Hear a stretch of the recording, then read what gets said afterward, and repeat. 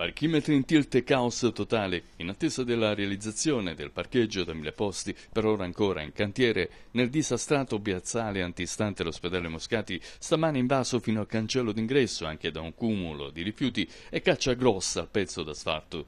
Automobilisti d'assalto di spazi utili dove tentare di sistemare la loro vettura.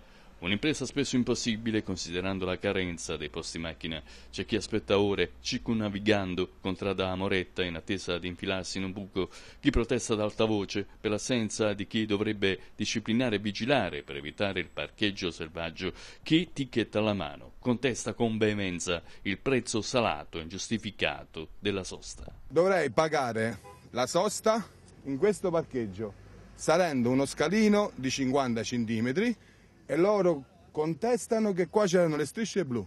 Vedi le strisce blu a terra?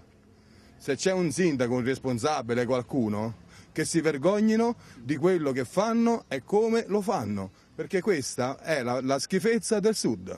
Tanto lei era venuto per trovare qualche... venuto non per andare a parlare, ma per andare a trovare un amico che ce l'ha fatta a non andarsene dall'altro mondo.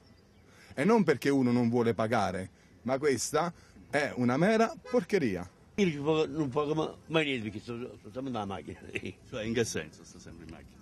Sto in macchina perché so, mia figlia è da pa- a fare una visita. Eh. Allora mi sono messo qua. Ah. Però io, io non pago niente. E perché non paga? Non paga il ticket? Eh, Perché sto io de- dentro la macchina. Ah. Quando uno sta dentro la macchina non deve pagare niente. Ah, Considerando Eh, sto girando che da un'ora. Ancora non ha trovato Eh, le posto. macchinette sono rotte, quindi ci devo fare altra strada. eh, Scusatemi, eh, c'ho appuntamento per eh, la visita.